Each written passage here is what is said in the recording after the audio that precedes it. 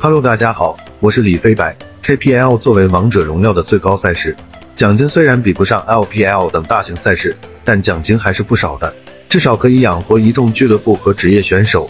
最近有博主统计了 KPL 历年来的总奖金，前三名分别是 eStar 和狼队以及 Hero 九金。eStar 的三连冠直接把奖金拉高到了一个新的层次，六个冠军总共拿到四千二百三十七万。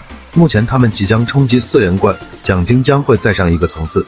第二名就是狼队，他们同样是六个冠军，三千九百二十三万。虽然没有 eStar 那么高，但相差也不远。第三名的 Hero 拿了五个冠军，奖金也有接近三千万。剩下的其他战队奖金就差的比较远了，主要是夺冠次数太少。当然，这些奖金不会全部给到选手身上，俱乐部运营、教练组、各种宣发都会分一杯羹。而 KPL 没夺冠的战队想要存活下来，不会仅仅依靠赛事奖金，否则他们早就饿死了。平时俱乐部会拉各种赞助和广告，这是一笔不菲的收入。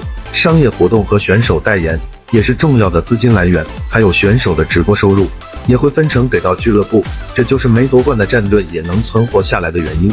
但在 KPL 始终打不出成绩的话，人气跌至谷底，连赞助都拉不到，最终别说赚钱，很可能是要卖队或者解散的。所以想在 KPL 赛场持续捞金，拿出成绩才是长久发展之道。小伙伴们如何看待战队的总奖金呢？